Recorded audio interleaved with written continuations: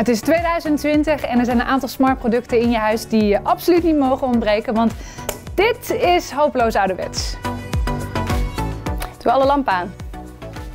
Dat is meteen tip nummer 1, want dit is wel uh, een heel stuk makkelijker zo, hè? Ja, is echt super makkelijk. Je kan alles met spraak besturen of eventueel met je telefoon of met je tablet. En kan het dan meer dan aan-uit? Ja, absoluut. Uh, je kan het licht dimmen, wordt er net wat gezelliger in huis. Of je zet het witte licht aan voor als je uh, wil lezen. Maar je kan hem sowieso in heel veel verschillende kleurtjes zetten, dus dat is top. En daarnaast, als je op vakantie bent, kan je hem zo instellen dat bij wijze van s'avonds het licht een keer aangaat voor een paar uur. oh, dat is veilig? Ja, super veilig, zeker. En heb je dan een heel systeem nodig of kan het ook met één lamp?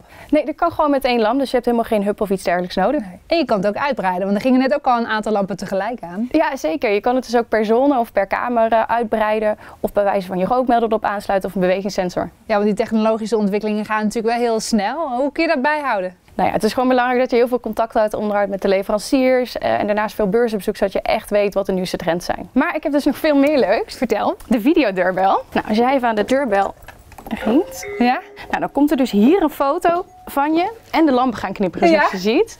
Nou, dus is super handig, eh, want stel dat je kinderen bij wijze van aan het slapen zijn, uh, dan kun je ook alleen de lamp laten knipperen in plaats van het geluid. Oké, ja. en je kunt ook communiceren hè?